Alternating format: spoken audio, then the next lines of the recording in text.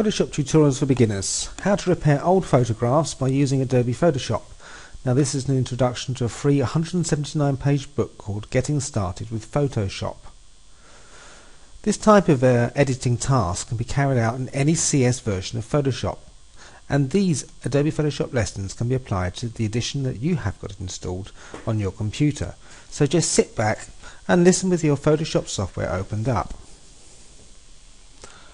Old pictures are often regarded as priceless. They serve as great solutions to protect memories that possess great emotional value. Sadly, the same as with anything else which is old, they have the likelihood of wearing out as time passes. Colours may not be as vivid as before because of fading. Tears may be visible after years of being handled. But luckily, Photoshop offers, offers lots of resources that will very easily assist you recover such treasured moments. Getting photos restored using a professional costs a lot of money, and you've got to take into account the simple fact that you're not really sure about the level of quality that you're going to receive. Thankfully though, along with a bit of work, you can use Adobe Photoshop to revive photos yourself. For those who have access to a scanner, all you have to do is scan the pictures into the laptop or your computer so that you can start the restoration procedure. I will now outline some methods you can use to fix your photographs. The initial step for editing old pictures is by simply transforming it into a digital file format. To do this, you have to scan the photo and save it on your PC.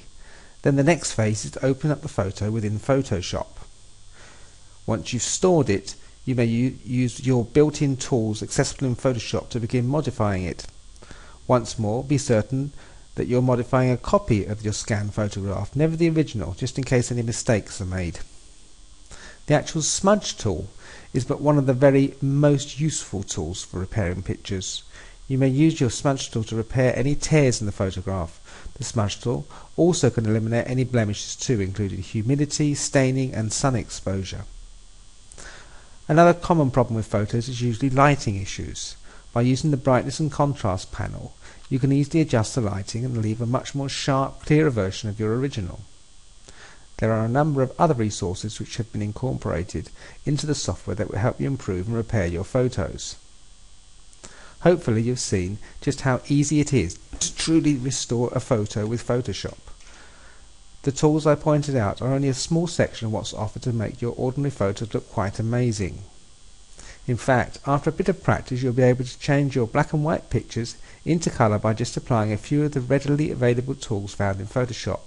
All it takes is a bit of practice, and in no time at all, all of your friends will be asking you to fix their old pics. So to grab your free 179 page report on how to get started with Photoshop, make sure you click the link below the arrow.